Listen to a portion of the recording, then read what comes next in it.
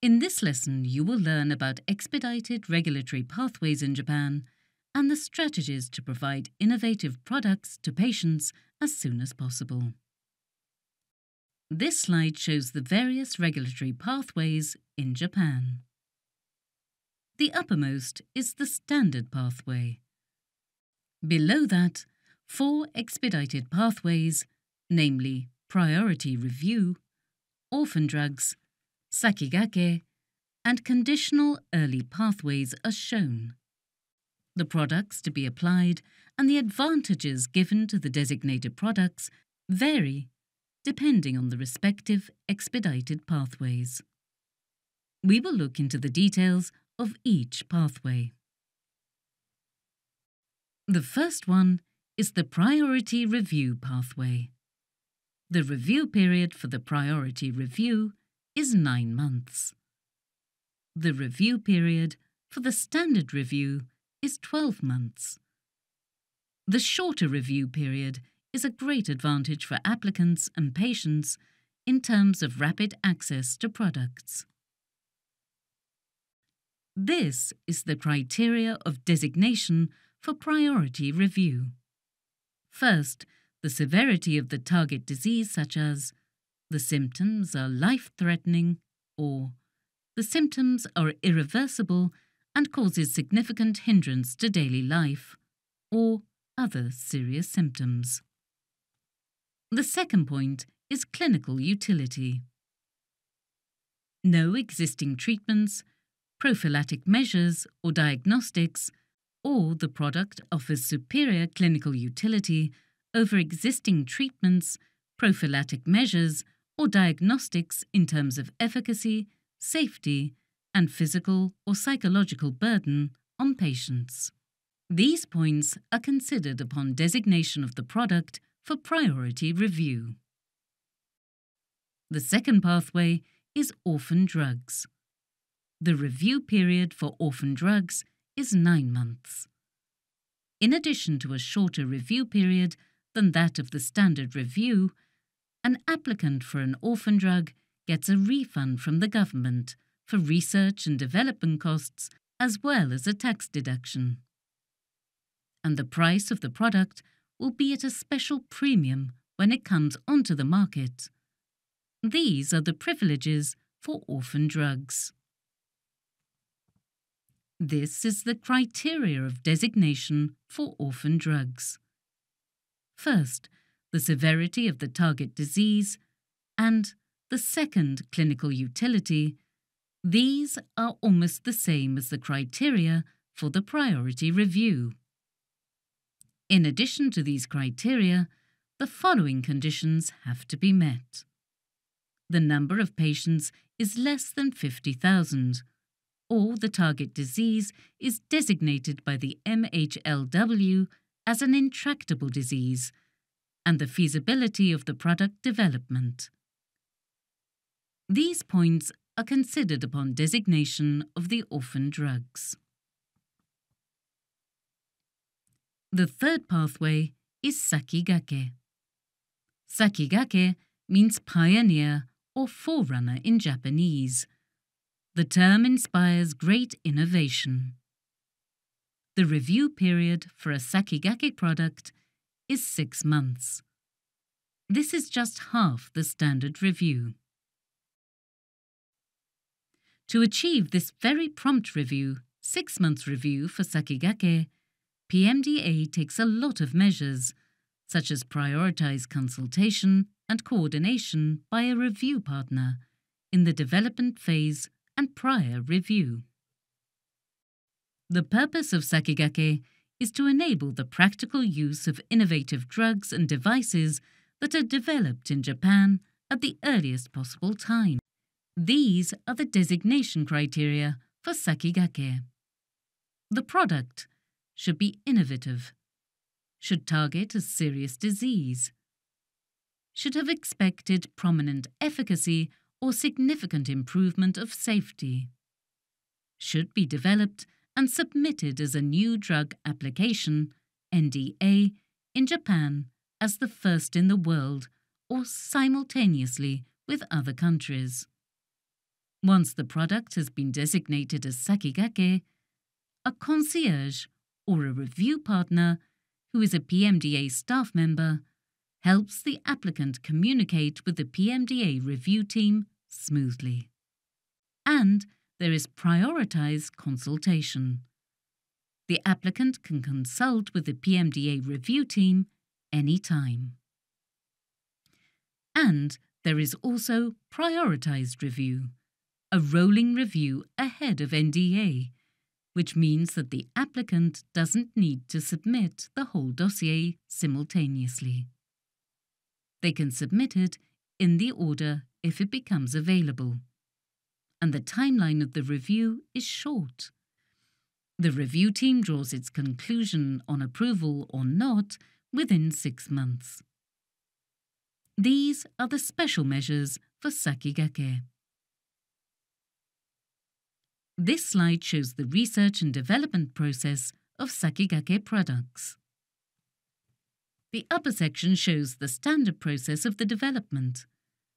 The clinical trial consultation with PMDA usually takes about two months, and the review period of PMDA is 12 months. The lower section shows the development process for Sakigake products. The clinical trial consultation with PMDA is conducted in one month, and the review period is just six months. Why is it possible to review all the dossiers within such a short period? Because the applicant and PMDA have frequent communication continuously from the early stage of the development. PMDA knows detailed information about the product before the NDA. This is necessary to complete all the review processes in such a short period.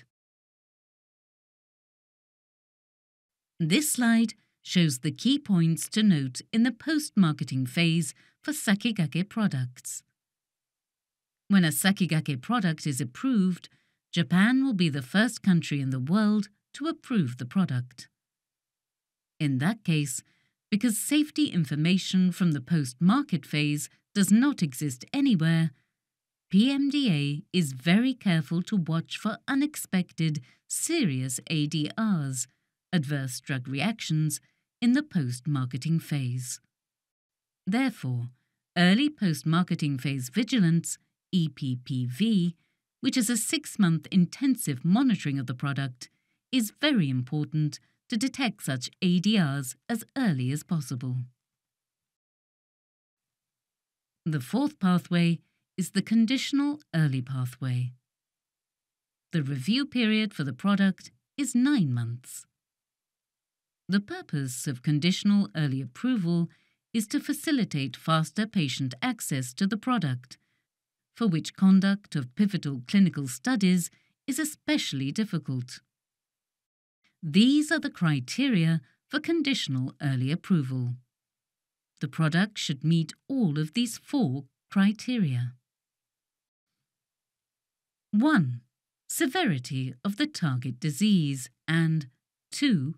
Clinical utility. These are the same as the criteria for the priority review. In addition, 3. Conducting pivotal clinical studies seems to be impracticable, or if deemed feasible, their execution is anticipated to require considerable time due to the small population of the subject. And 4. The results of clinical studies, other than pivotal studies, suggest a certain level of efficacy and safety. When the product meets these four criteria, conditional early approval applies. This is the research and development process of a conditional early approval product. Once the product is designated as a conditional early approval product, the applicant submit an NDA with the result of the exploratory clinical trial. The result of the pivotal trial is not required for the NDA. The review period after the NDA submission is shortened to nine months instead of 12 months, and various conditions are imposed upon approval. For example, conduct post marketing clinical studies, other surveys, to reconfirm the efficacy and safety. Take necessary measures for the proper use of the product. Under the COVID 19 pandemic, early approval of the pharmaceuticals for treating COVID 19 was required in order to prevent the spread of health hazards in emergencies. This is a table comparing conventional approval and immediate approval in case of a health emergency, such as special approval for emergency and emergency approval. The target of the special approval for emergency is pharmaceuticals which are distributed in foreign countries. Special approval is granted to pharmaceuticals that are approved for marketing in foreign countries. On the other hand, the target of the emergency approval is for all pharmaceuticals which are not distributed in foreign countries. Emergency approval is granted to pharmaceuticals whose safety has been confirmed and whose efficacy is estimated to be effective.